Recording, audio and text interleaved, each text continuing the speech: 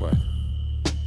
¿Te imaginás vivir sin agua? Es la pregunta y la verdad que uno no se lo imagina, pero hay gente que vive sin agua. Y hace ya varios años es en San Francisco del Chañar, al norte de Córdoba. Y lo que llama la atención es que es un pueblo que se fundó a finales de 1700, o sea que tiene mucha historia. No es que siempre pasó esto, sino que en los últimos años se agravó la situación y directamente pasó la, la gente que vive en este lugar a abrir la canilla y que no salga nada, absolutamente nada. Es la historia de la gente de San Francisco del Chañar. Así es. La vemos. 9 de la mañana, 45 minutos. Acá estamos recorriendo la mañana en el Cuenta conmigo por la 91.5 Radio Comunitaria La Plaza. Desde San Francisco de Chañar, repasando algunos mensajitos. Hola Mario, ¿cómo andás? ¿No sabes cuándo pasa el camión por eh, el camión del agua? El camión del agua por el barrio El Progreso. Uy, ahí averiguamos. Ya mandamos un mensajito y estamos averiguando cuándo te llega el camión del agua.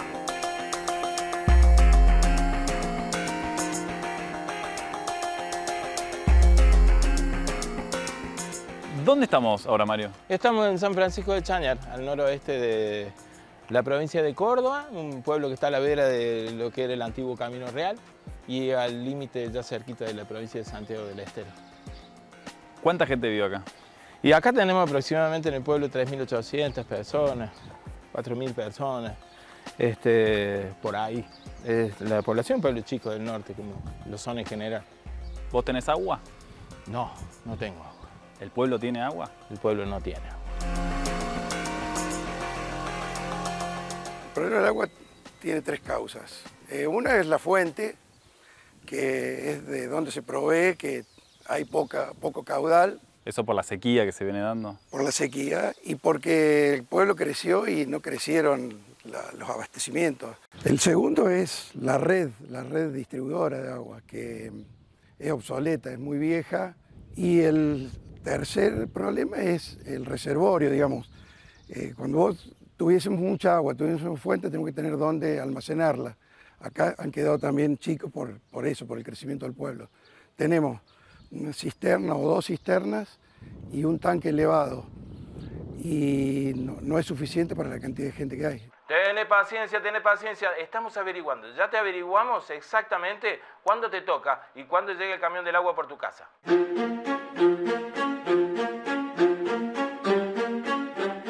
La ruta del agua es desde una localidad que se encuentra aquí a 50 kilómetros que se llama Villa María de Río Seco.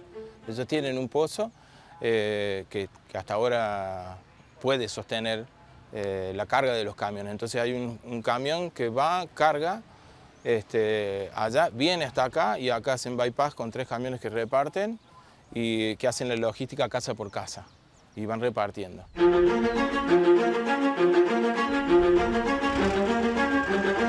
Se viene un momento clave. Este camión de acá trae agua desde la localidad de Río Seco. La pasan a estos camiones que la reparten casa por casa. A cada familia le toca más o menos una vez por semana, así que hay que cuidar mucho el agua. ¿Cuánta agua entra más o menos ahí? 10.000 en uno y 8.000 litros en el otro. 10.000 litros acá, ¿para cuántas casas más o menos alcanza? 10, ahí 10 varía un poquito, 8 por ahí.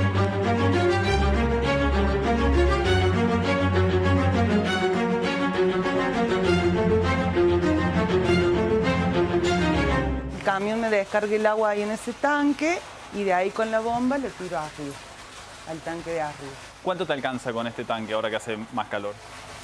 Una semana. ¿Esta pileta la tenés para juntar agua? Sí, le tengo conectada al pico de la calle, está todo el tiempo abierto, que cuando sale un chorrito y tiene la fuerza sube,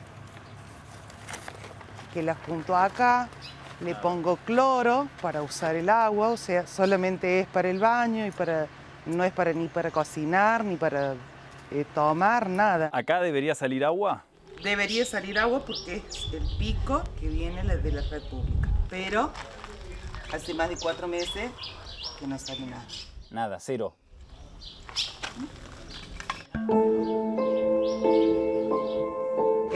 Triste decirlo, pero sí, es como que uno se naturaliza vivir así, como que es algo ya natural de lavar los platos en un fuentón, de bañarte y poner un fuentón para juntar un poco de agua para, qué sé yo, tirarle a las plantas o usarla en el baño.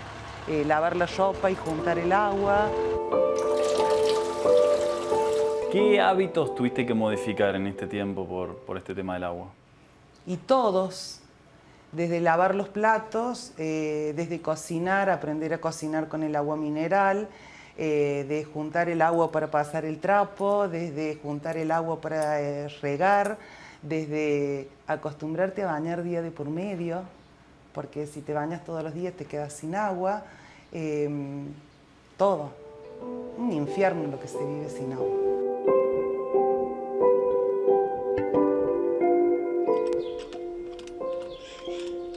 Que no tenemos nada de agua. Esto es, a veces en la mañana te largan el agua, abren las llaves a las 8 de la mañana, suponte, a las 7 de la mañana. ¿Y sale mucho o un poquito? No, apenas.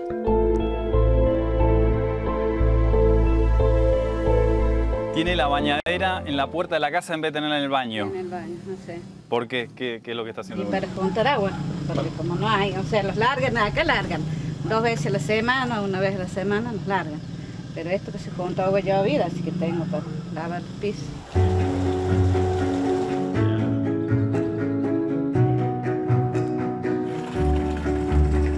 Después para el consumo hay una planta, una planta de ósmosis inversa que se llama, que es también donde hay un camión que descarga el agua ahí y entra en ese proceso de eh, potabilización. Entonces la gente se dirige hacia ese lugar a cargar el agua para consumo. El agua que descargan los camiones no es agua de consumo, de hecho, eh, eso siempre eh, lo tenemos claro.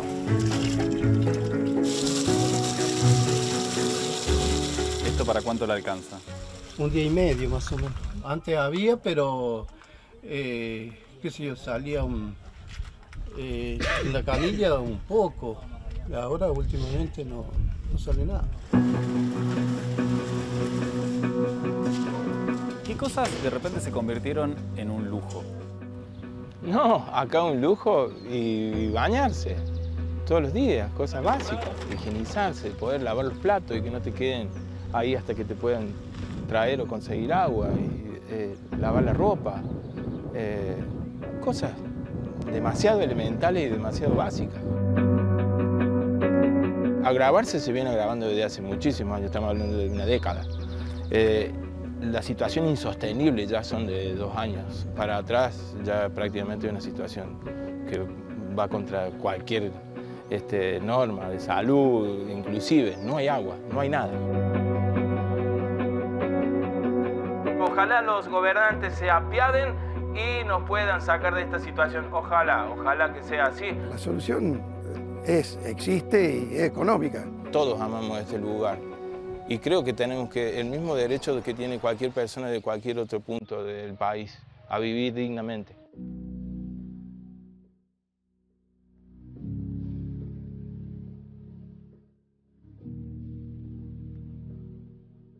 Uno vive acá, uno no se quiere ir de acá. Este es su lugar, este es mi lugar, este es mi pueblo, quiero mi pueblo y me quiero quedar acá. ¿Pensaste en irte por esta Sí, situación? sí, por supuesto que sí. Pero es mucho más grande el amor que uno tiene por este lugar. Y claro que sí. Eh, los hijos se van eh, y uno se queda acá. Y uno sabe que en otro lugar esta situación no- al menos no es tan drástica como acá. Pero se queda, se queda peleando.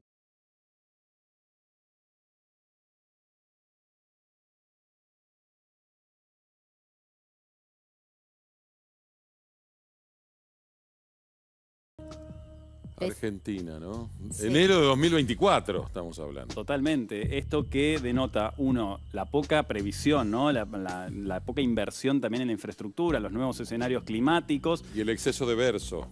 Sí, o de mucha promesa, de poca ejecución. Digo, no se hicieron estudios para extraer agua, no están hechas las perforaciones más profundas para extraer agua donde sí todavía hay. Una red que ya quedó vieja y en el medio 3.800 personas que no tienen agua y muchos deciden migrar. Pero además, a ver, sí, muchos decían migrar, pero acá es importante decir algo. No es la buena voluntad de, yo entiendo la expresión de- del colega y es muy valioso su testimonio, no es la buena voluntad de un gobernante. Esto es un derecho básico. Esta es la dignidad de ciudadanos de la República Argentina a las cuales, a los cuales no se les está garantizando un derecho fundamental. Claro. Porque es, si, es su salud, es su higiene. Sin agua no se vive, se sobrevive y esto es lo que hace esta gente. Totalmente. Bueno, el municipio dice, bueno, nosotros no tenemos el presupuesto para poder hacer toda esta infraestructura, entonces en el medio queda, y la provincia no da respuesta, Nación por ahora tampoco, entonces en el medio toda esta gente dice, bueno, ¿y, y yo qué hago? Mientras tanto que abro la canilla y no sale agua. Gracias, Jason. Ojalá se solucione pronto. Claro que sí. Venimos enseguida con más